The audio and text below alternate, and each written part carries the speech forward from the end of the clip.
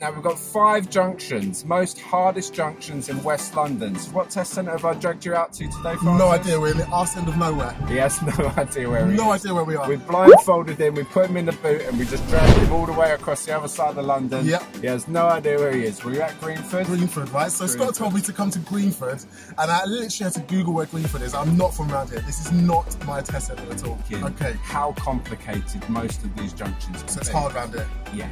Okay. All right. Cut. um, right. So what we're going to do is just going to plough on. We're going to take uh, Francis to these junctions. We're going to see how he deals with these junctions without having zero experience Nah, in this area, let alone these junctions. And we're in Scott's automatic spaceship. Alright? And today, at Two Day Pass, Francis is going to sing I'm a Little Teapot. Am I? Dirty but short and stout. Here is my handle. Oh, here is my spout. Yeah? Okay, And I accidentally poked myself in the eye. you're right. Your eyes watering. You need to go back to hospital. And we do an emergency stop.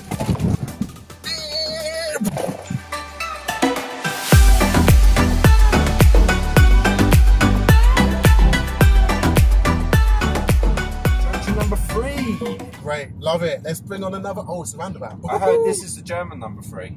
German three. Yeah. What? Drei. Ein, zwei. No, oh, you're doing it right. Not Right. like that. Like that. Right. Follow the sign to Oxford. Junction number three. Okay, cool. Is this Target roundabout? No. What is it? What's it Greenford. called? Greenford roundabout. Okay, so Oxford. It's number third exit, and it's on the right. It looks like it might be the fourth exit if you're going to look at that sign and look at the dual carriageway, but try and work out that that's a dual carriageway, and the bit that is a square, not a point, is where you jump on, not where you come off. Actually, Very you can good. see it. Can you see it from over there? You can see it from over there. Mhm. There's a no entry sign. So one, two, Good. eins, zwei, drei. That's very dry. Uno, dos, tres. What other languages can we do? I don't know. What about French? I just Uh, undo, uh, undos. un, dos, trois.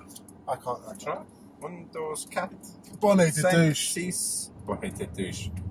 Munch two, munch two. Bonjour.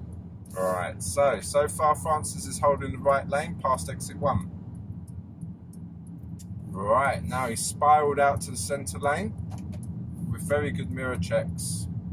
And he's spiraling out to far left lane. Very good mirror checks. It looked like a spiral Well roundabout where the lanes disappeared. left for me. Where the lanes disappeared after every junction.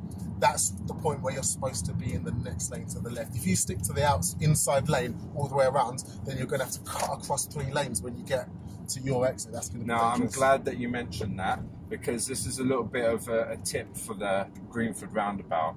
If you use the middle lane on the approach, that helps you to keep to the middle to Okay. the outside lane on the exit. Does that Oh, make right. sense? Yeah, yeah, yeah. So that prevents you from having to cut over one, two lanes. With that not being correct, though, the examiner's not marked right down. I mean, you've done it completely safe. Your mirror checks are on point. You're Yeah. gradually spiraling out as you pass the first first exit. You spiral out to the middle lane.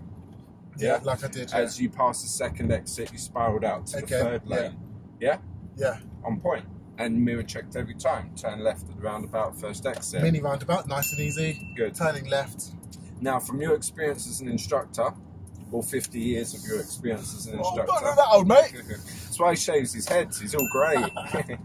um, so, Get what mud- would you suggest? right off here. What would you suggest for your students to do the right lane or the centre lane? Well, I'd suggest like teaching.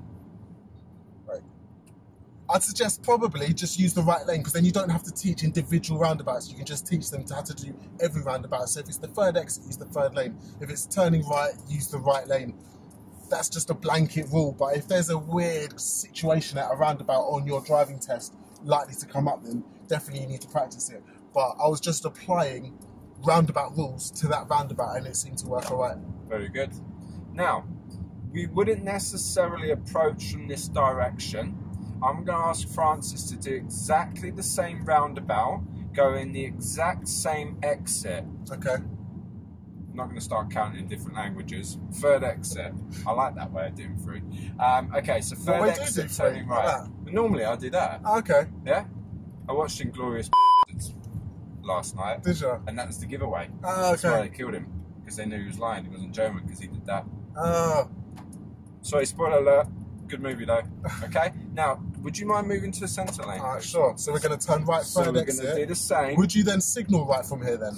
It's entirely your preference. But Do if I'm turning right on the roundabout, it's your choice. yeah? You can Okay. if you choose to. It's not a problem. Cool. Good. So you've kept the centre lane. Yeah. Yeah, if I start in the second lane, I'll carry on to the second lane. Would I spiral to the left now then? Or it just feeds me into the left? Cool. Feeds, kind of fed me into the left. Kind of. Yeah, Yeah. I did have to do a slight lane change there, but it was more obvious that that should have happened. Mhm. And you did your mirror checks at every exit that you passed. You know, Yeah. just being aware. Keep the left. Follow the.